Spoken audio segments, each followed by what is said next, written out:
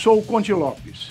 Fui comandante da rota, deputado por 24 anos. Sou vereador em São Paulo. Em 1990, aprovei uma moção na Assembleia Legislativa de São Paulo para que o menor de 16 anos seja responsabilizado criminalmente, porque na Constituição brasileira ele pode escolher o presidente da República. Olha, se ele pode escolher o presidente da República, ele sabe quando ele está matando, roubando, estuprando. Por isso, conto com você, venha com a gente, plebiscito já.